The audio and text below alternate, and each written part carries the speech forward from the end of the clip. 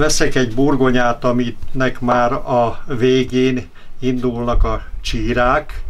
Nem is ültetem az egész burgonyát be, ketté vágom, mert fölösleges is azt nagy burgonyát beültetni. A ö, csíranövények úgyis új saját gyökeret fognak fejleszteni.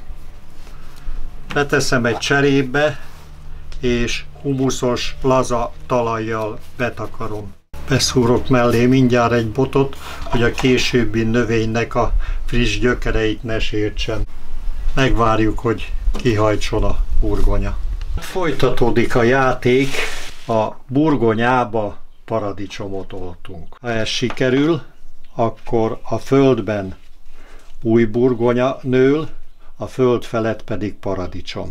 A paradicsom a burgonyafélék családjába tartozik, ezért hasonló a szövet szerkezete, és mivel rokon növények, így egyik növény a másiknak a, a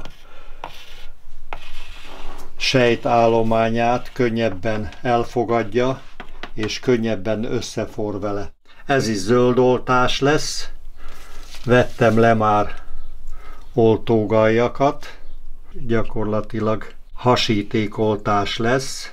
Legszerencsésebb az, hogyha egyforma a, az alany meg az oltvány vastagsága. A burgonyának a szára növekedés közben üreges lesz, tehát lehetőleg addig kell az oltást elvégezni, amíg a szár nem kezd üregesedni. Úgy oldjuk meg a dolgot, hogy a hónajhajtás fejlődjön. Csak itt is leveszem a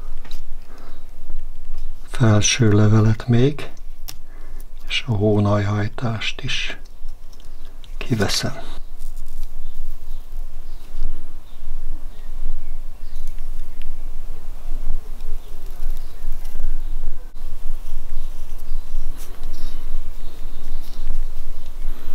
ékre vágom. Sima roncsolásmentes vágás.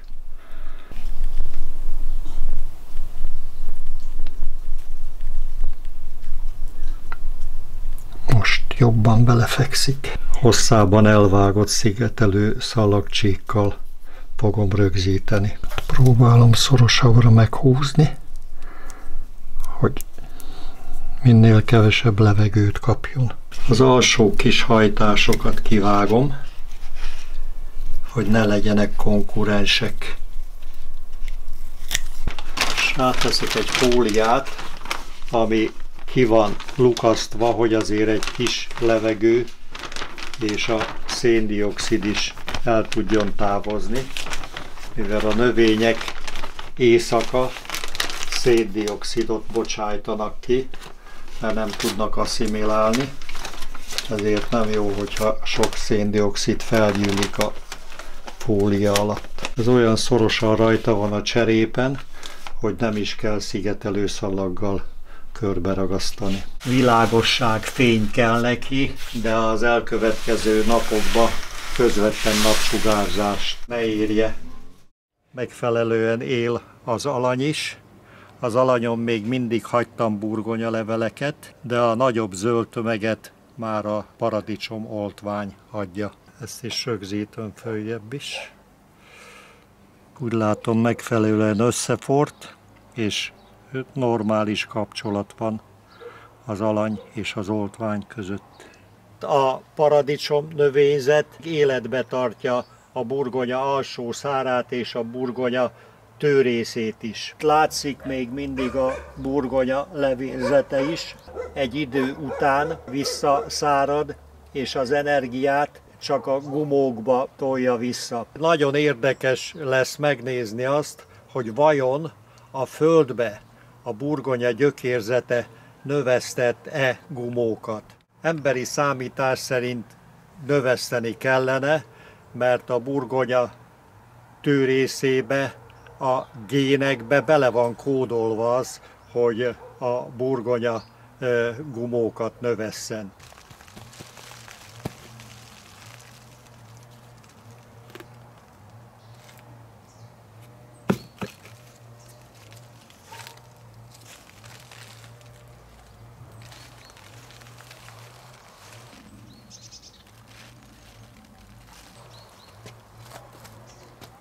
Az első új krumplit meg is találtuk.